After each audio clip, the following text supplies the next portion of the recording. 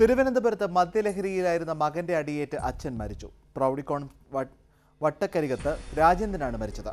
മകൻ രാജേഷിനെ police arrest ചെയ്തു. വീടും സ്ഥലവും പണയം വെച്ച് രാജേന്ദ്രൻ ബാങ്കിൽ നിന്ന് പണം കടമെടുത്തിരുന്നു. ഈ പണത്തെ ചൊല്ലി വ്യാഴാഴ്ച രാത്രി ഇരുവരും തമ്മിൽ തർക്കമായി. പണം വേണമെന്ന് രാജേഷ് ആവശ്യപ്പെട്ടു. നൽകാൻ രാജേന്ദ്രൻ തയ്യാറായില്ല. മദ്യലഹരിയിലായിരുന്ന അച്ഛനും മകനും തമ്മിൽ അടിയായി. ഒടുവിൽ രാജേഷ് തടിക്കഷ്ണം കൊണ്ട് അച്ഛന്റെ തലയ്ക്കടിച്ചു. ഗുരുതരമായി പരിക്കേറ്റ രാജേന്ദ്രൻ ആശുപത്രിയിലേക്കുള്ള യാത്രാമധ്യേ മരിച്ചു. തുടർന്ന് ഒളിവിൽ പോയ രാജേഷിനെ രാവിലെയാണ് പോലീസ് അറസ്റ്റ് ചെയ്തത്. അച്ഛനും മകനും വാക്കുതർക്കം ഉണ്ടാവുകയും വാക്കുതർക്കത്തെ തുടർന്ന് വീടിന്റെ പരിസരത്തുണ്ടായിരുന്ന റബ്ബർ കമ്പ് തലയ്ക്കടിച്ചാണ് രാജേന്ദ്രൻ നായർ മരണപ്പെട്ടത്. രാജേന്ദ്രന്റെ മൂന്ന് മക്കളിൽ മൂത്തയാളാണ് വെൽഡിംഗ് തൊഴിലാളിയായ രാജേഷ്. ഇയാൾ സ്ഥിരം മദ്യപാനിയാണെന്ന് നാട്ടുകാർ പറയുന്നു. പ്രതിയെ ശനിയാഴ്ച ആറ്റിങ്ങൽ കോടതിയിൽ ഹാജരാക്കുമെന്ന് കഴക്കൂട്ടം പോലീസ് അറിയിച്ചു.